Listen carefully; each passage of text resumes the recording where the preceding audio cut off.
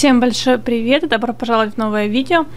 В прошлом видео по узорам мы с вами нарисовали ажурные и в некотором смысле цветочные узоры. Также в исламе, если мы, а, так как мы в этом блоке разбираем одну тематику, да, я вам показываю, как именно а, можно охватить да, в рамках одной тематики и нарисовать много всего. А есть а, узоры как цветочные, так и геометрические. Я сделала тут подборку. Это тоже ислам, то есть это тоже традицион, традиционный исламский узор, но геометрия. Он строится из э, геометрических фигур и бесшовный. Вот таким вот образом это все делается. И так как мы с вами просто учимся рисовать узоры здесь, то э, справедливо будет нарисовать также геометрический узор – крайней мере, мы с вами научимся это делать. Итак, в принципе, а, если анализировать, да, можно такие схемы смотреть, то есть на самом деле их очень-очень большое количество таких узоров, и рисовать их тоже можно всякими разными способами. Вот, допустим, да, то есть из геометрических фигур выбирать тот узор, который нам необходим. То есть таких обучалок много, и я вам покажу, как я рисовала свой узор ну, по крайней мере, не такой же, а мы нарисуем что-то подобное. Итак, что я делаю? Я рисую прямоугольник. Пока просто произвольно все. И треугольник. Прямоугольник и треугольник. Вот. А, выравниваем их. Теперь мне надо, чтобы треугольник был наверху. А прямоугольник подгоняем под такую же, собственно, ширину, зажимая Shift. Треугольник слишком приподнят. Я рисую на глаз, то есть уже ну, потом, впоследствии, я буду их подгонять ровненько. А сейчас я хочу увидеть именно сам узор и понять принцип. Потому что для меня это тоже новое. Я тоже, ну, так же, как и вы, грубо говоря, учусь этому всему в интернете. Ну, допустим, да. И теперь мне надо этот же треугольник перевернуть вниз. То есть мне надо такую получить конфетку. Фигуру, конфетку. Теперь мне необходимо все это объединить. Так, объединить не, не получилось. Значит, давайте... Так. И вот так. Вот. Получилась такая фигура. Теперь на краях я удалю лишние точки, потому что они точно есть. Так. Нажимая пробел, я вот так вот ручкой бегаю по монтажной области. Мне так почему-то удобно. Вот эти точки тоже, в общем-то, лишние. Нам они не нужны. Не получилось. Вот.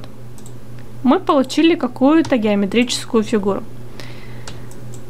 Ctrl-C, Ctrl-F на клавиатуре.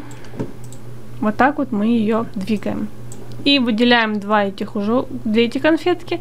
Ctrl-C, Ctrl-F снова. Зажимаем Shift и двигаем ровно на 90 градусов.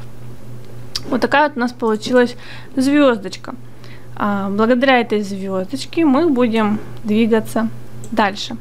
Теперь мы ее выделяем и нажимаем разрезать. Разгруппировываем. Мне нужна в центре, видите, звезда Давида. Если обратить внимание, то у мусульман на всех узорах а, есть звезда Давида. То есть это еще идет с иудейства, а, и так далее. То есть звезда Давида в исламе тоже почитается, поэтому она есть практически на всех вот таких вот геометрических узорах. Ее можно, ну, допустим, тут нету, да, но обычно все-таки строится а, из какой-то такой вот многоконечной истории. Вот. Ну и, в общем-то, у нас она тоже получается. Так, удаляем все вот эти перекрытия, чтобы наша звезда была более явно видна. Здесь вы можете уже абсолютно как хотите экспериментировать, да, то есть здесь, скажем так, воля вашей фантазии, никто вас ничем и никак не ограничивает. Например, можно поставить в центр.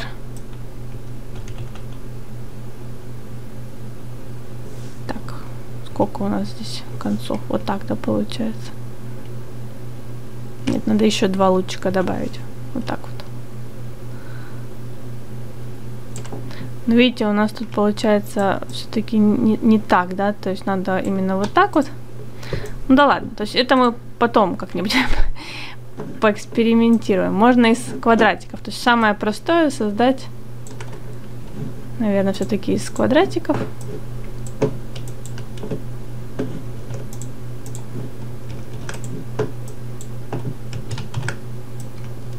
Вот. То есть, ну, давайте даже пока мы составим вот таким вот образом. Далее, что я делаю, это все сгруппируем. И лично я пользуюсь плагином.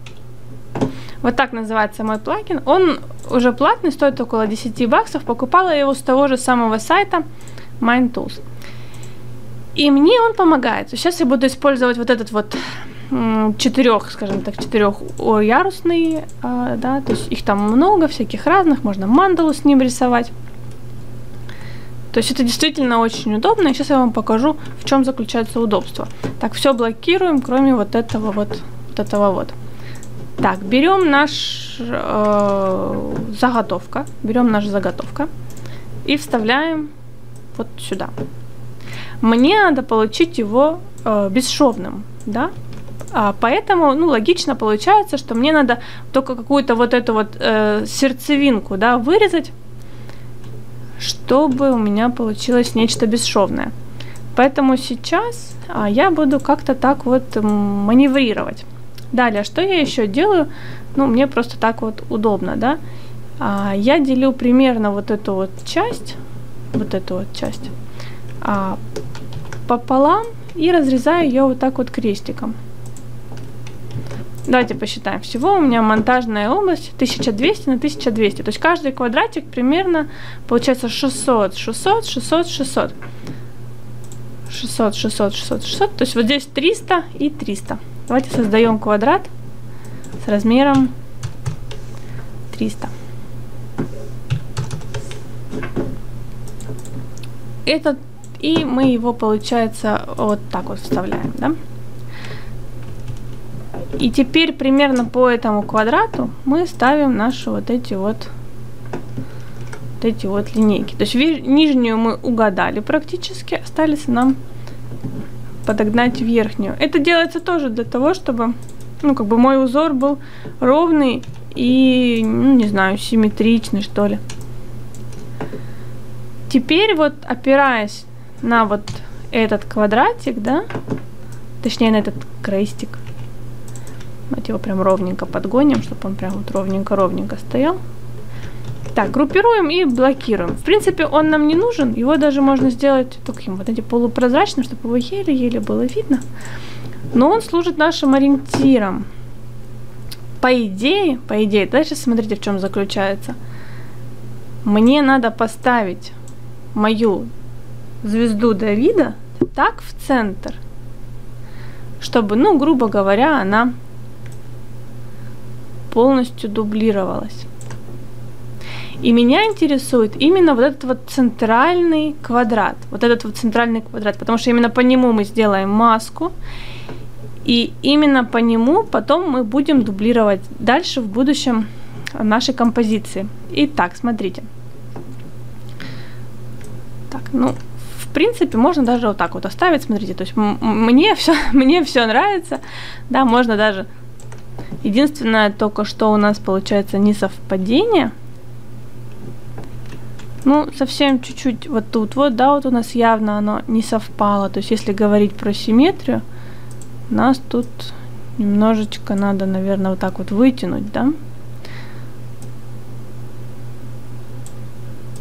Сейчас мы...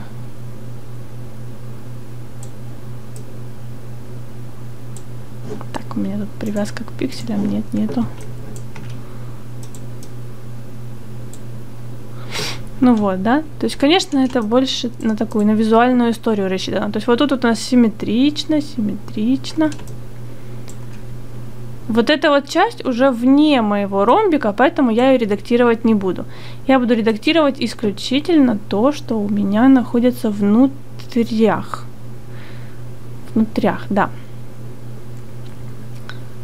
Итак, ну давайте, в общем, поэкспериментируем, раз уж мы, принципе, все сделали.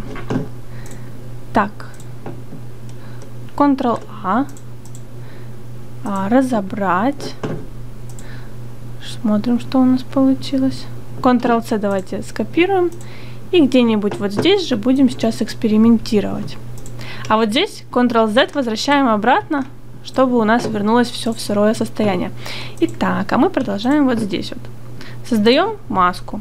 Маску мы создаем по нашей, зажимаешь Shift, чтобы она уже создавалась ровно, по нашей вот этой вот так, все раз, раз, раз, разгруппировываем. Вот эти вот крестики мы их группировываем отдельно. И так, оно у нас получается все в группе, да, все-таки. Так, все разгруппировываем.